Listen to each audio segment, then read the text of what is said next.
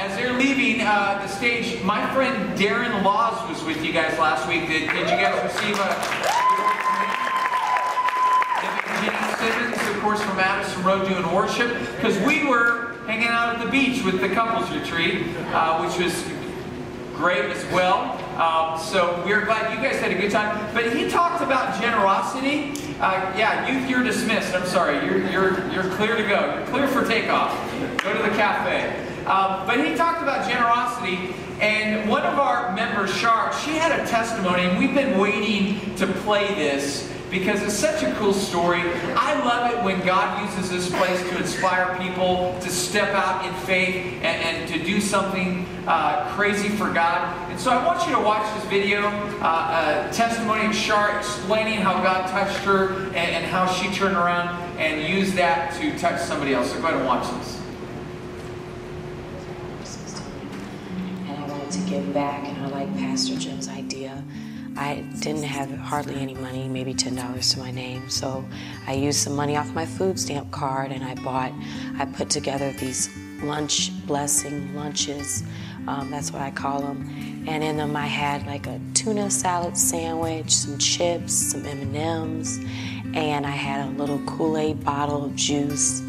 And I put a little message in there and it said, God loves you and you are someone because his only son died for you. Merry Christmas. And I literally drove all around just searching for homeless people. And I came to this one man, he, he walked up to my window, and as he reached out to me, he, he um, touched my hand. And it just, um, I immediately, I, I immediately started crying. I felt how, how frostbitten his hand was, how cold it was. And it reminded me of a time when I was 10 with my mother and we were homeless. And I know what it feels like to be cold where you, you can't feel an inch of your body and, and, and the burning and the stinging from the frostbite.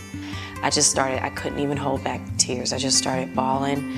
I was sad for him. I wish I could give him a blanket or more. And it made me want to get, it made me want to give more. But I also just immediately thanked God and was so grateful that I didn't have to experience that anymore. And I have heat and I have my son and we're safe and we have our own place. And I just felt very, very blessed. That was like the best gift I could ever have on Christmas. Wow, isn't that cool? What a great story. I, um, I, I wanted to play that because I, I love it as the pastor when we see God inspire you guys into action. And uh, that was amazing. I love it. Um, but Darren also talked about tithing, and I was like, oh, he talked about tithing. And the only the only reason I kind of was like, ah, you know, because it's better the guest speaker talk about it than me. But I always feel like I always feel kind of like when I explain it, I, I like to just tell you that that, you know, if, if Valley Bible is your home church, uh, when you talk about tithing and giving, you know, your, your offerings and, and your, your tithe to God, I want you to feel confident that, that this place is a place that is using the money given wisely uh, and, and doing it effectively for God's kingdom. So, being that he talked about it last week, I just want to do a little case review with you. Uh, if, if if you're tracking with me here, on just how we use the money, the revenue that we collect here together uh, as a family and how we're distributing it out. We look at Valley Bible Fellowship of Las Vegas in three circles. We have the, the church circle, we have the city circle, we have the world circle. And, and so we kind of distribute the money uh, through the three circles. And this is kind of a breakdown. See if. Uh, Last service, I sent the wrong file. Nice, a lot better. Um, so, this is kind of how we are utilizing uh, the funds brought into Valley Bible. We have, for the church, we have a fund set up. Uh, if people are out of work, uh, if they're having unexpected bills for some odd reason, um, we have a fund that we have put together so that we can help people that are in uh, uh, financial stress or turmoil to help bail them out. Uh, we have a food pantry that we distribute food to people within the church that need it. We have a set free, a spiritual 12 step program. We also now added this year a break free class, which is uh, strictly for people with sexual addiction and behavior issues. Of course, we have our Sunday services, midweek service, youth ministry, uh, including services, activities, and camps, children's ministry, vacation Bible school, our Awana Wednesday night program, our small group, uh, My Place of Learning classes on Tuesdays. We have men's ministry, excited about that. MMA, come on, guys, that's going to be great. Women's ministry, couples retreat. How many had a good time at couples retreat last weekend? Yes. Uh, counseling, sometimes we can't solve uh, all of your issues on a Sunday after service in a prayer session. So we um, offer counseling uh, for whatever reason or whatever's going on in your life during the week. We have pastors and leaders available for you. New believer follow up, corporate prayer, worship nights, uh, single moms help. We haven't began that. We, we slated it for January. It hasn't began yet, but, but we're getting ready to kick that off. Our, our college career ministry, refine, and of course, yeah, there you go, one person excited. And uh, our singles group called Unity. These are just some of the, the things that the church is offering. And of course, you know, we it, it takes finances to be able to make these kinds of events and activities and classes available. Then let's step into the second circle, which is the city, which kind of this is like the DNA of our church. I mean, we're a very outreach driven church.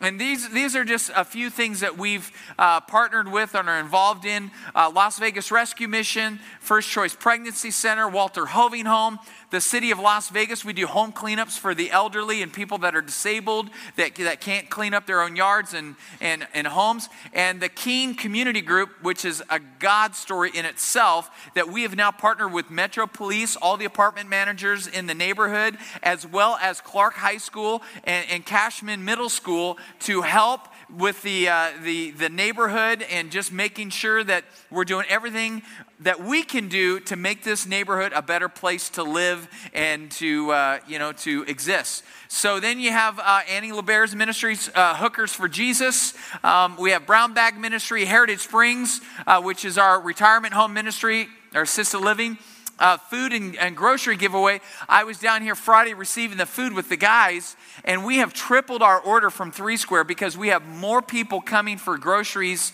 uh, than we've ever had in, in our history. A line that, that is really long on Saturdays, so we're offering that. Uh, we do concerts here, as most of you know. Our intention is to have the cafe open every weekend for all the, the youth of Las Vegas to be able to come and, and hang out. Then you have Serve Las Vegas that we do twice a year. We do projects. Next one's coming up in May, guys. We're excited about that. Block parties that we do in the different apartment complexes um, and, and, neighborhoods around our, uh, our church. Our Fall Fest, Adult Entertainment Expo. This is where we go to the porn convention, set up a booth, pray for people. We have had now about five people begin coming to our church because of our outreach at the porn convention. So, and then you have these random faith walks where we just go out and we do random ministry and tell people Jesus loves them, pray for them. And we've had so many neat stories come from that. But some of you were here about three weeks ago and, and heard about my drive uh, around the five circle or the five mile circle around the church. I have a map because some of you were asking for this. And, this just kind of tells you the area that, that I have drawn a prayer circle around. And I'm believing God is going to do a breakthrough of, of uh, heavenly proportion for everybody within the circle. Now, notice where we're at. This is Valley View, Charleston. Uh, you know, uh, this is um, Sirius Avenue. And we went that far south because we want to include Clark High School because we feel like God has really done a, a, a, great connection with us in Clark High School. I mean, it's we live in a, in a politically correct culture, don't we? It's like, you know, don't step on too many toes. Don't talk about religion, you know, in, in government or public settings. You know what we did? We had a back to school party for Clark High School in September where we got to preach the gospel at a secular high school. We saw 30 students receive Jesus Christ that day. Cool.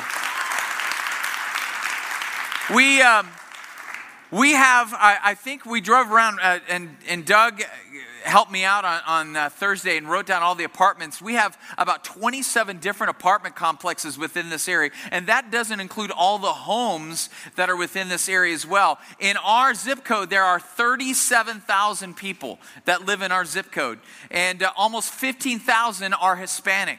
I have news for you. Uh, in April, we have our first Spanish speaking outreach slated, uh, and it's, and it's going to happen. And uh, probably within the month after that, we are going to have our own Spanish speaking service right here at Valley Bible Fellowship. So we're excited about that. So remember, why am I showing you all this? Because, see, when we moved here, a lot of people are like, Where are you moving? We're like, We're moving into the city, man. And, it was a God story how God gave us this building. But I remember four months after we got here, God gave me a word. It was, it was so clear, it was almost audible. But this is what I heard I've sent you here to change the atmosphere. And I really believe that. So, so this obviously this takes finances, this takes resources in order for us to, to love the city like we want to love the city. So let's step into the third circle, which is um, how we love our world. Of course, you saw the video, the Zambia video. Scott Garcia did a great job on that. And uh, I'm, I'm so excited uh, for what's going on in Zambia. We sponsor five different schools and churches over there through Pastor Ernest and his wife Laika.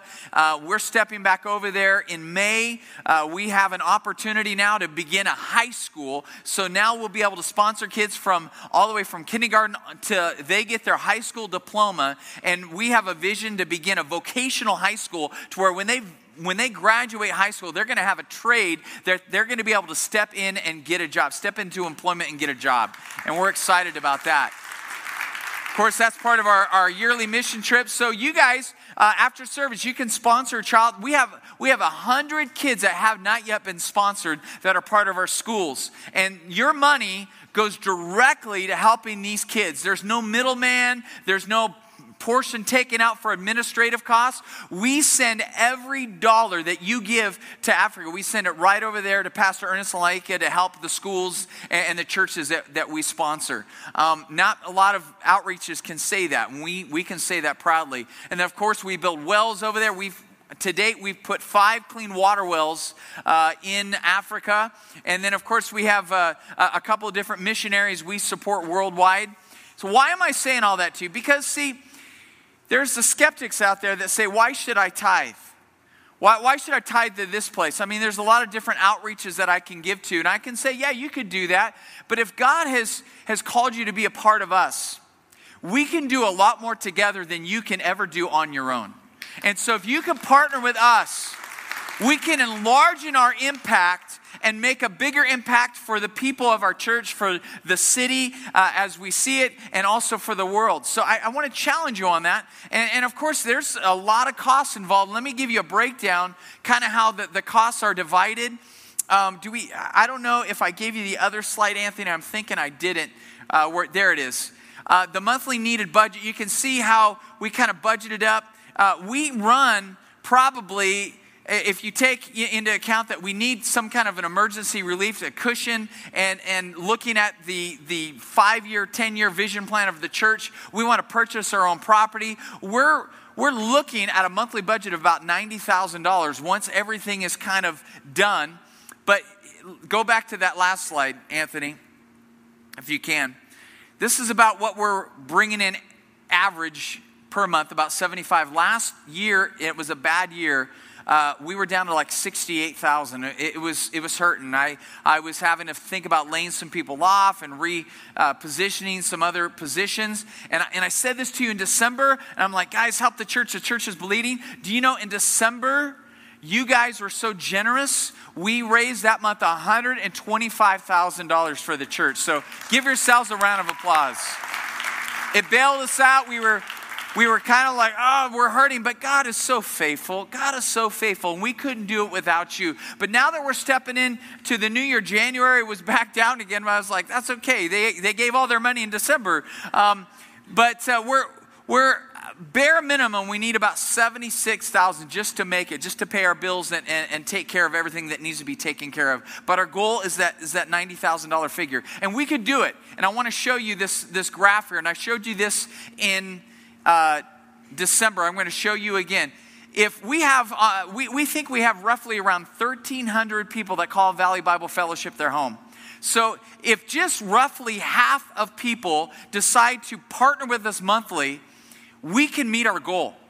And you don't even have to give a lot. I mean, just 240 of you gave like $25 a month and 240 gave $50 a month. And we're not talking tithe at this point. I mean, mo- mo- most people get more than uh, two, $250 a month, and $25 would be a tithe off that. But what we're trying to show you is that your little bit makes a difference. Everybody's little bit together will help us do what God has called us to do as a church body, as a church family. So I want you to know from the bottom of my heart, as your pastor, I'm not driving around a Rolls Royce, okay? Uh, I'm driving around on my daughter's car that her grandpa bought for her. I've kind of like, I've taken it for myself right now because I believe so much in this church. I sold my truck and I gave it so that we could finish this cafe and get it done. And, and uh, so we're down to one car. So I'm committed to you guys as your pastor, as well as I'm committed to this church financially myself. And uh, if I, I, wouldn't expect you to give if I wasn't willing to give myself, and I do. And, and so I challenge you on that, on that whole tithing principle.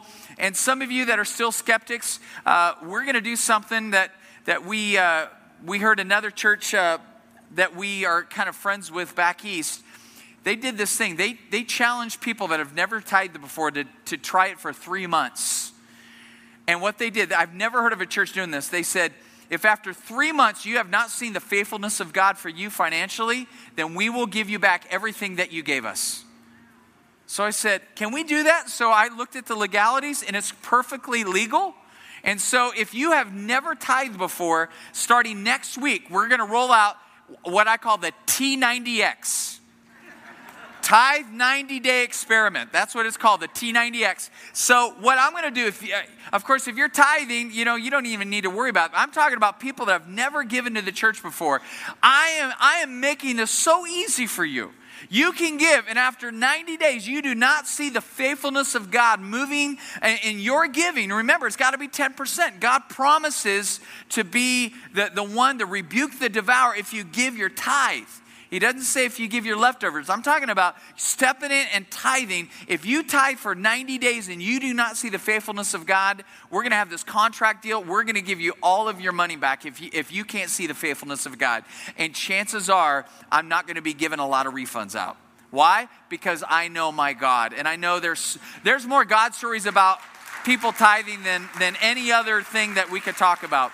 So I've spent already too long, but I felt kind of like that's a necessity to do, being that uh, Darren talked about it last week, but I'm actually here to talk about worship, all right? we know that giving, our, our offering, is a kind of, of worship, but worship is so much more than that. So let me pray. We're going to dive in. If you have your Bibles, go ahead and open it to Romans chapter 12. Romans chapter 12, we're going to be camped out on one verse this morning. One verse, okay? It's Romans 12, verse 1. But let me pray this. Heavenly Father, I thank you so much that, God, you are moving in this place, God, with all of us together collectively, God. We are changing the atmosphere for your kingdom and for your glory. And I pray, God, that we could continue to do so. And I pray as we step into your word right now, God, that you would anoint me as you did first service. God, that we can hear what you would have to say to us today. We thank you in advance for how you're going to do that. In Jesus' name we pray. And everyone said, Amen. God bless you guys. I, I'm so excited about this word. Um, what we're going to do is we're going to start off with a story. You, you guys like a story? Okay, th- this is hot off the press. I went mountain biking for the first time yesterday. Now, now you're like, man, you've never been mountain biking. I've been on a mountain bike, but being on a mountain bike doesn't mean you're mountain biking. Owning a mountain bike doesn't mean you're a mountain biker. I went out with my friends Nathan and Josh, and they said, We want you to experience mountain biking. I go, I'm, I'm up for it. Let's go. So they took me out here to Red Rock, and we were riding our bikes. And, and one thing I didn't prepare for were all the rocks. And the first clue should have been Red Rock, okay? I'm going to be in a position where there's a lot of rocks. And so I'm going down these hills that were pretty steep hills. And, you know, I, I, mind you, I grew up on a BMX bike. How many of you guys in the 80s grew up riding your bikes everywhere? Are you, okay, I'm not alone, all right? A lot of us, okay? So, like, I'm familiar with riding a bike. I got all that down. But, you know, going down a steep hill where there's all kinds of rocks in the way, you got to kind of figure it out real quickly so that you don't wreck. But I noticed something. I noticed that as I'm going down these paths, that there are these big rocks. And, and I'm thinking to myself, I need to avoid the rocks, but, but something weird was happening. The more I looked at the rock and the more I thought I need to avoid that rock, the more my bike went towards the rock. And I kept thinking, okay, I can't look at the rocks because my bike is going where my vision is. And so every time I would look at these rocks, like I gotta avoid that one, boom, I'd hit the rock. And and so one of these hills, man, I was like, I was clean record, no wrecks, no crashes. We were we were like on our final descent. We were almost home. I was gonna be like, woo, you know, uh, accident free because my wife was like at home waiting for the phone to ring for me to uh, for her to have uh, uh you know go pick me up at UMC or something. And so so I was I was excited, no wrecks, and then right as I got to the final hill and I started descending, there was that rock. I call it my boulder. Because I looked at it, I was like, I gotta avoid it. The front tire got through it, the back tire clipped it, and it just threw me off the bike, just subtly, not like over down the cliff, you know, but it just kind of subtly threw me off. And I'm sitting there laying on the ground. The guys looked back, and I'm just like, I'm okay. I jumped up and I'm like, you know, brushing myself off, and it's like, ah, no, no big deal. And so we went down and, and got back to our cars, and I was like, man, that was, that was good. They said, Are you hurt? I'm going, I'm not hurt. But there was a life lesson in that. The life lesson is you've got to pay attention not to the rocks that are the obstacles in the way. You got to pay attention to the path of where you want to go because your life will steer you into the direction that you're looking. That's what worship is. Worship is about putting our focus on God. And the more focus that we are putting on God, guess what? Our life is going to go that direction. Our life will go in the direction of where we are focused. See, a lot of us, we have crashes in our life, life crashes, and the only reason is because we were looking and focusing on the wrong things with our life. So, what's the moral of the story? Focus on the right things and worship is about focusing on God. Let's look at Hebrews, uh, or uh, not Hebrews, uh, let's look at Romans 12, verse 1. Therefore, I urge you, brethren, by the mercies of God, to present your bodies a living and holy sacrifice acceptable to God, which is your spiritual service of what? Worship. Worship. This is so powerful. Now, when I say worship, if you're here and you've been a part of the church community for a while, immediately what do you think of? You think of singing. Oh, you know, that's worship. It's like it's it's where we sing songs to God. Well, I would tell you that is a part of worship, but that's not necessarily what worship is. Worship is much bigger than just singing with our voices. And here, the Apostle Paul unfolds what worship is. Worship is about surrendering your life to God. He uses, uses this term of a living and holy sacrifice. What's important about that is see, he's talking to a group of people that know what it means to worship God. They're used to these animal sacrifices. I know we don't really practice that anymore. So it's hard for us to get our minds around that. But for Paul, when he's writing the, the letter to the, the Roman church, this is, this is kind of what they're seeing. They're seeing animals being slain, being killed, being, being uh, gutted and cut in pieces and, and put on the altar and, and offered to God. So when he's, when he's talking about that scripture, when he's talking about worship, He's saying basically we need to take ourselves and our lives and we need to put them up on the altar as an offering to God. That is true spiritual worship under God or unto God. I mean, that's crazy. The reason this is so powerful for this series, Devoted, is because if we are to really be the fully devoted followers of Christ that we're called to be, we can't get there without being fully devoted to worship of God. You know, we've talked about reading the Bible, we've talked about prayer as some spiritual disciplines. And both reading the word and prayer, they are, it's warfare. It's to help you beat the devil out of your life. Do you know that? How many have the devil beating you up?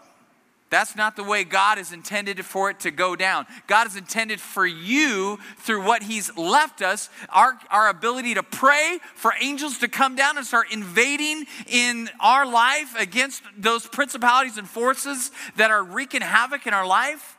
I mean, how many of you have had stuff break out for no reason with no explanation? You're like, that is crazy. It's supernatural. Yeah, you live in a demonically inspired world. And we need all the help we can get from heaven to interv- intervene on our behalf. Prayer does that. Prayer moves heaven to earth. And the reading of God's word, it really comes against the devil and all the temptations that he's put in front of us every day. But worship is also warfare. But see, whereas prayer in the word of God is warfare against the devil, I'm here to tell you that worship is warfare against our number one enemy. Guess who our number one enemy is? Ourselves. Say, why, why, why is worship the, the, the, um, the warfare against ourselves? I, what, what does that mean? What means? Because, see, we like to be in control, don't we?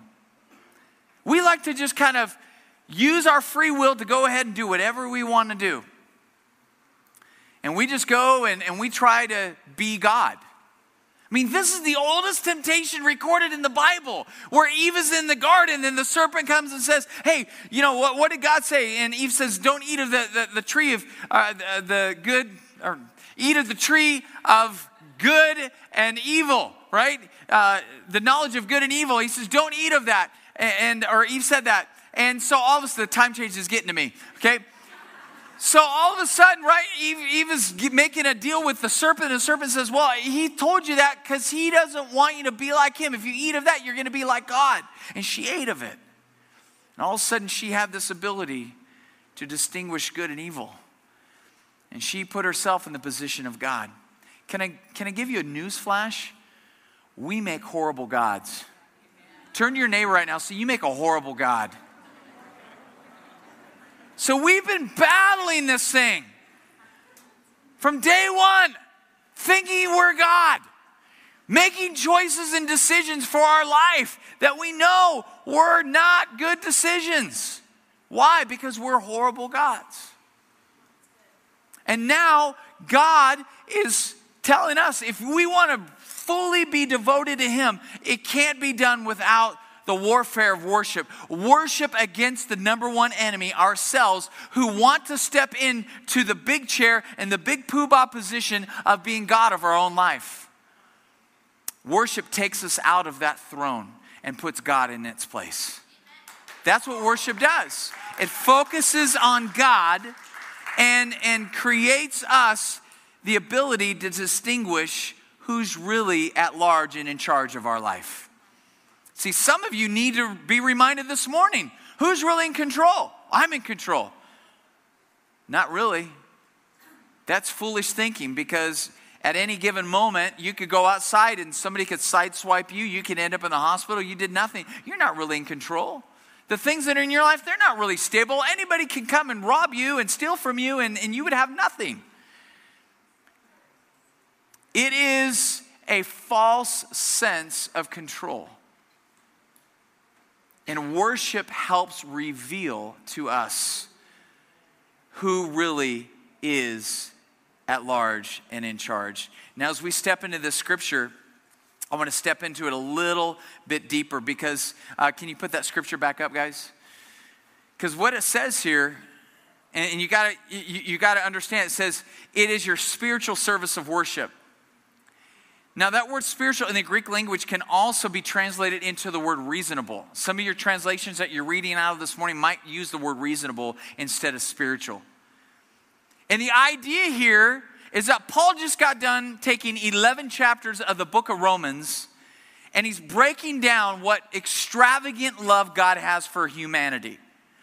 That while we were yet sinners, Christ died for us. That he gave his own son so that we might have relationship with him. And so he spends 11 chapters un, unveiling this whole master plan of God. And, and, now he steps into a kind of a, I don't know, like um, he's summarizing the case. If you were a lawyer, this is like in summary Your Honor, this is what I would like to present to the jury. That because of what amazing, extravagant love God has given to us through Jesus, it's only reasonable that we present ourselves, our whole lives, to the one who gave his life for us. It's only reasonable that we should give such an offering to somebody that gave us such a gift. Only makes sense, right? Somebody giving you such a large gift. In return, the only way that you could you could even accept that gift is to give yourself fully over to the one who did so much for you. So, let me give you some truths about worship, keeping this Romans 12, verse 1 scripture in mind. Take some notes, okay? We, we got a little weekly, get it out, look at you know, all the stuff that we got going on, but there's a, there's a page there for notes. I want you to write some of these truths down because I believe that through this message that you guys are going to be devoted worshipers of God. And as you begin to become devoted worshipers of God, you will begin to become fully devoted followers of Jesus. Truth number one, write this down. Worship is singing, but it's more than that. It's about surrendering everything in you to God. Worship is singing, but it's more than that. It's about surrendering everything in you to God. Now, I want to give you the same Bible passage from the message translation. It's not an accurate translation, but I love how Eugene Peterson writes this, this scripture out. He says, So here's what I want you to do God helping you take everyday, ordinary life, you're sleeping, eating, going to work, and walking around life, and place it before God as an offering.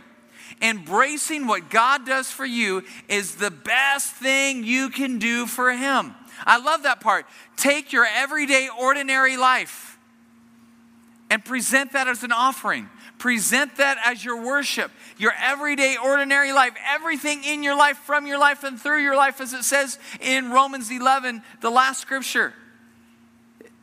It says, through from him, through him, and for him, for the glory that he has. That is how we're supposed to live our life. Now, here's the question with this first truth What part of our everyday, ordinary life have we not surrendered to God? I mean, it's easy to say, hey, I've surrendered to God. And surrendering those parts of you that are broken, that's commendable, and I applaud you for that, but that's not what I'm talking about. It's easy to surrender stuff to God that's broken, right? Because we're like, fix it. God, help me, fix this. It's easy to offer that stuff. It's a little bit harder to surrender the stuff that's not necessarily broken, right? The stuff that we still kind of feel like we're in control of. Like, hmm, I don't know if I want to give that to God. That's I'm having a hard time with that. Well, just wait long enough. It will break and you will eventually give it over to God. Isn't that the truth? It's so true. So what are you waiting for? Surrender it. Surrender everything that you can think of right now to God.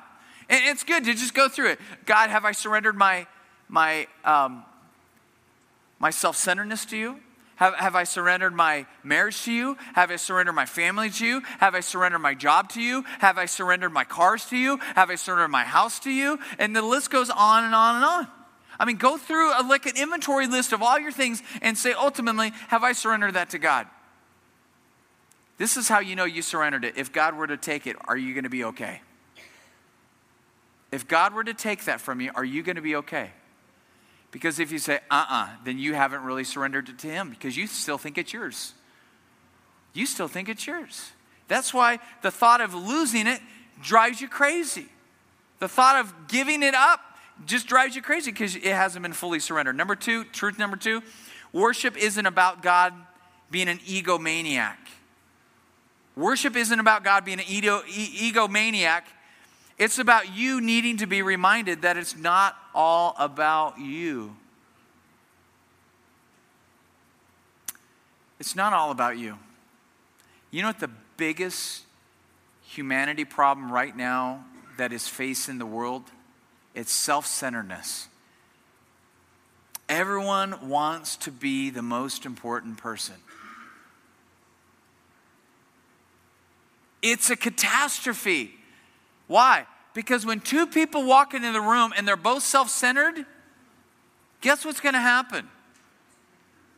Conflict. Because they both want their way. And when they don't get their way, when a self centered person doesn't get their way, they get mad. They get jealous. They get frustrated. They stomp off. They don't they no longer talk to you. They take their toys and they go home. That's what a self centered person does. And so, what happens is when you step into this idea of worship, you got to see that it's about you recognizing that God is ultimately the king of your life. And when God is, is in that throne position, if you imagine your life and there's a big throne chair, when God is in that position, that's when everything starts working the way God intended it to work. It's when you're in the chair that things start going haywire really fast. Question What stuff in your life right now is going haywire because you're still in the big chair? As long as you're in the big chair, problems are still going to be prevalent in your life. It's about you getting out of the chair, letting, letting God reign as king of your life.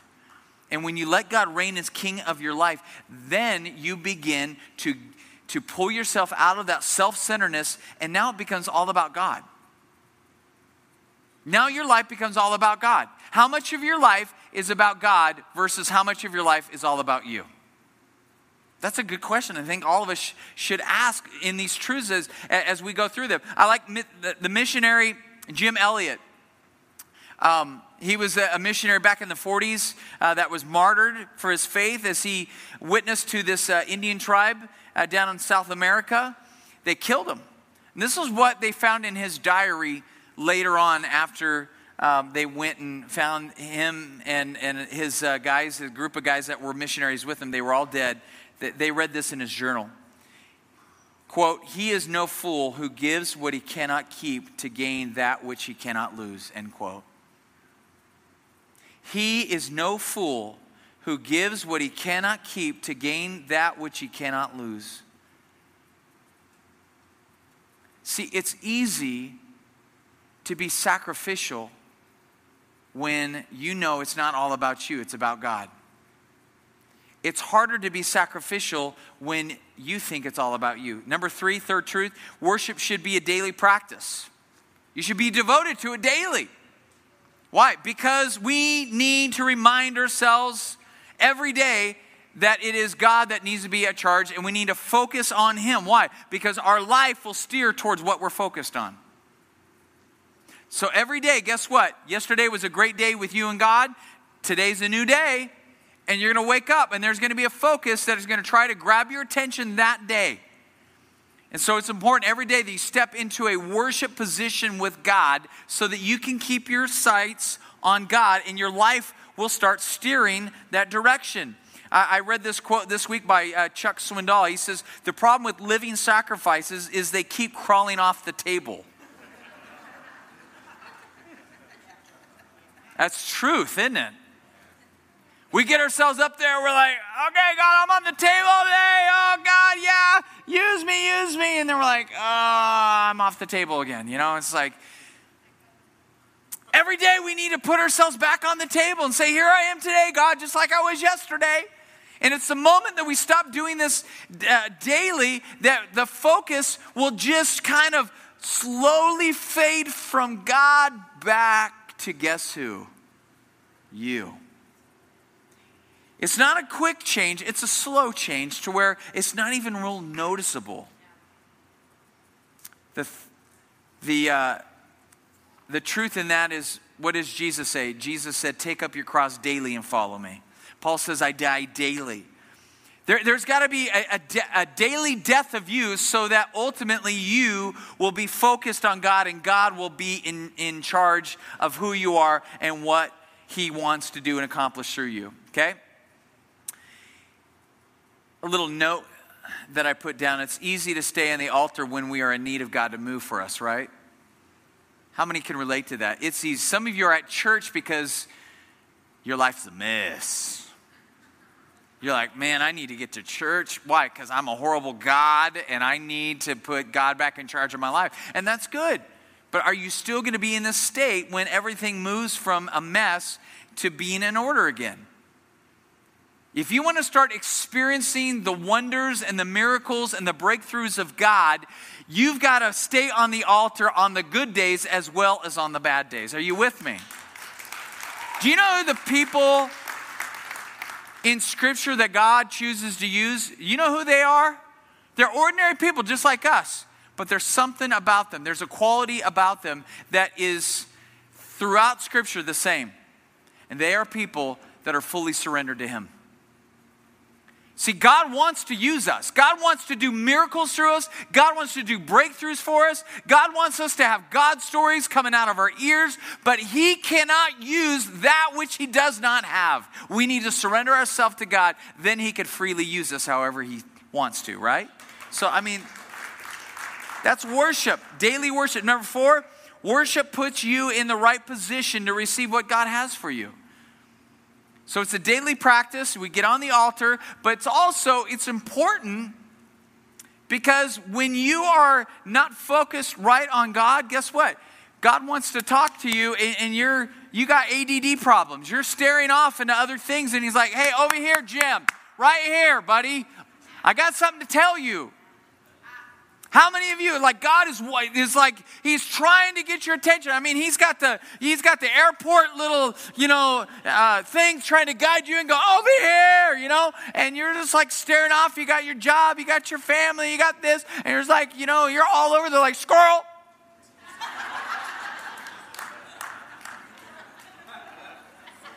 that's why. That's why when we come to church, we sing songs to God before we get into the Word.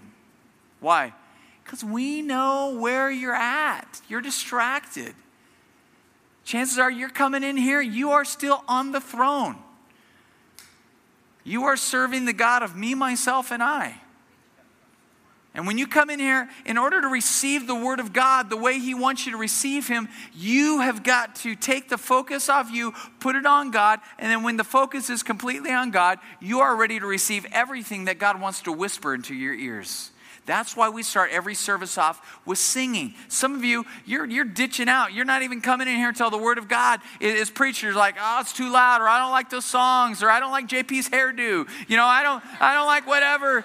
And so and so you're just like, you know, finding some excuse. But I'm here to tell you listen, I'm here to tell you that that's important for you to do. Because when you start declaring with your mouth the beauty of God, the majesty of God, the power and mightiness of God, something is being released over you and in you that puts you in position to receive everything that God wants to speak into your life.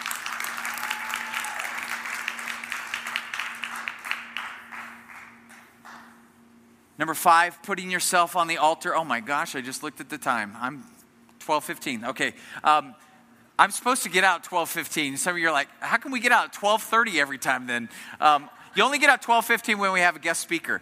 Um, number five, putting yourself on the altar is going to make you uncomfortable. It's going to make you uncomfortable. Because God's will is, for the most part, never in alignment with your will, is it? It's when you place yourself in the mercy of God's will that all of a sudden you start getting stretched. I don't want to. I don't want to give any money to that homeless guy. But I do, Jim. I want to give money to that guy. I want you to go pray for him. But I don't, God. I'm kind of, I'm hungry myself. I'm late, but I, that's my will. I, my will's for you to go talk to that guy and, and give him some food and to pray for him. Can you do that for me? Yeah, God, I can do that. It's going to be uncomfortable. I don't know that guy. Still, would you do it for me? Because it's me that's asking you? Absolutely. If I went out of my way and I, and I came down and I, and, and I said, hey, Anthony, and, I, and I gave you like 20 bucks and I said, I don't have 20 bucks, so I would give it. But I said, hey, would you go, would you go hand that to my friend Carol over there? You'd be like, absolutely. See, God is asking us to do things that we find uncomfortable that we would do for another human being without batting an eyelash. Talking to a stranger, praying over somebody that we don't know, perhaps, preaching the gospel to a coworker, um, you know, uh, uh, giving generously when we feel like we need that money for a new stereo system for our house or something. We're like, oh man, if I give that money, I'm not gonna be able to, to you know, buy my new rims for my car and, and whatever the case might be. Question What ways has your life become uncomfortable because God's on the throne in your life? And number six, if we don't worship God, the truth is we will climb on the altar of someone or something else. God has wired us for worship. God has designed you for worship. And if you're not worshiping God with a big G, you will find a God with a little g to worship. You will find something, you will find something to surrender your life to. Could be drugs, could be alcohol, could be your pursuit of a career, it could be money. You will find something to give your life over to. You will find something to sacrifice for. Eventually, you will find something that you are willing to give everything in your life for. And because, unfortunately, because it's not God with a big G, some of you have gods with little g's that have actually ruined your life. Because you've given your life over to drugs or alcohol or sexual addiction or gambling or, or maybe even uh, uh, education or, or a career path or money. Those things don't bring you the joy that you're looking for. The only way that you can taste the joy of God that He has designed you to experience is in you becoming an offering for Him and laying your life down for Him. Um, I'm out of time. Let, let me just tell you that the, the t- first two commandments of the Ten Commandments have to do with this. In Exodus chapter 20, just make a note, I'm not going to read that. But Martin Luther believed that if we can practice the first two commandments of the Bible, then we'll have no problem fulfilling all the other commandments ever written in the Bible. I mean, that's truth. Make God big G who you worship, the God of the Bible, because if you don't, you will find something or someone else to worship. Question what or who have you been idolizing? Who have you placed in front of God? Here's the, here's the litmus test. Here's, here's the indicator. Where does your time go? Where does your money go? And what do you talk the most about? Those are, those are God indicators. Where does your time go? Where does your money go? And what do you spend most time talking about? All right? I got to end, and I think we need to end with communion. And uh, because we're second service and I'm out of time, I- am going to do it completely different. Okay? So, ushers come up. I don't know if, uh, if, uh, if the guys are, are going to do some worship. I don't see them. All right. You did get a haircut, though. Yeah. I just, we love each other, right? Um, but as, as, we step into this time of communion, the reason I feel like we need to do this corporately, ushers, go ahead and make your way forward. Um, the reason I feel like we need to take communion corporately uh, as a church and everyone needs to partake in this is because the more that we focus on what Jesus has done for us, the more we're willing to put ourselves on the altar and become that, sacri- that living sacrifice for Him. It's the reasonable act of worship in response to what Jesus Christ has done for you. That while we, while we were yet sinners, Christ died for us. Get your mind around that. Get your heart around that.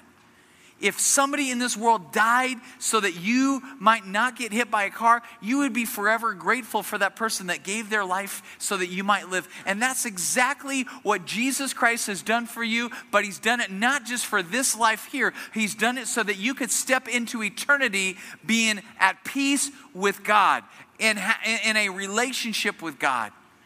So, I mean, that is beautiful.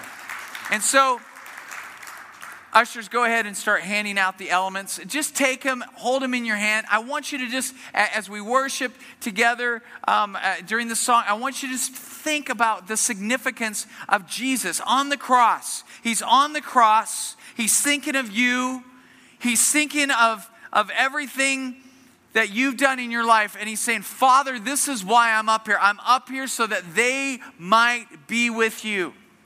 I want you to think of that image of Jesus on the cross, that he's doing this for you. I put this quote on Twitter and Facebook yesterday, and this is how it goes.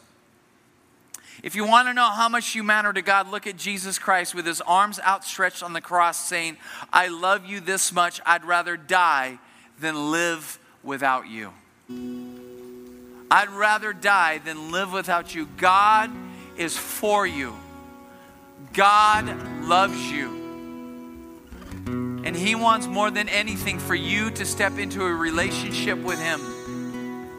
And it only makes sense that once you get that, that you make your whole life focus about Him and His presence in your life. And the glory behind that is that once He takes that seat of your life, the mess has become a lot less because now you're not in charge, God is. And so some of you taking this these elements as a foreign concept to you. But we do this, we, we do this with the wafer to symbolize the body that was broken. We do this with the juice to represent the blood that was poured out. And some of you, you can take communion for the first time if you make a decision today to say, Jesus, I want to give you my life. Jesus said to his followers, He says, as often as you eat and drink, do this, do this partaking of communion in remembrance of me. So, some of you that want to step into this relationship with Jesus that have never done so, I, I, want you, out of an act of obedience, to, to surrender your life and take these elements and say, Jesus, I, I mean it. I, I am all yours today.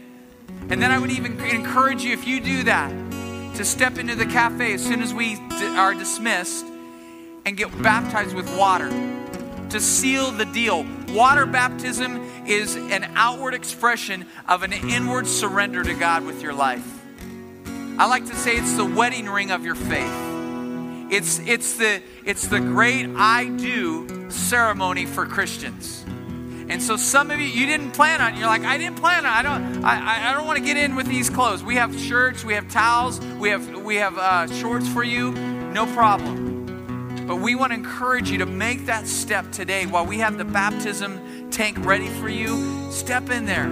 You didn't have plans to do that? Hey, you know, go for it. Don't leave this place. If you're if you're really meaning business with God today, I encourage you to do that. But let me pray this prayer. Father, as we've received the elements, as, as we step into this, this closing time of this, this last song, my prayer is for all of us to remember the great sacrifice that you did for us, for each one of us, that while we were yet sinners, you died for us. And so, Lord, we take these elements today the, the wafer, the cracker, the juice, and we remember that great sacrifice you did for us. And, and out of remembering this, God, we make a decision today to focus our life on you through living a devoted life of worship placing ourselves on the altar to be that living sacrifice. And if there are people here today, Father, that have never asked you to be their Savior, to be their King, God, I pray that you would impress on their heart right now to make that decision. If you're here today, you've never made that decision to step into this relationship with Jesus, then I just want you to raise your hand and say, Pastor, I've never done that and I would like to today. Just raise your hand. Awesome. Anyone else say, you know, Pastor, that's me. I, I, I want in. I, I want to be a follower of Jesus. I want to see what God can really do and what His plans and His purpose is for my life. Just raise your hand. Anyone else? Father, you saw the hand that went up, and even some people maybe that they didn't get their hand up. I pray that Jesus, you would enter their life today. That that God, you would forgive their sins today and fill them with your Holy Spirit. In Jesus' name, amen and amen.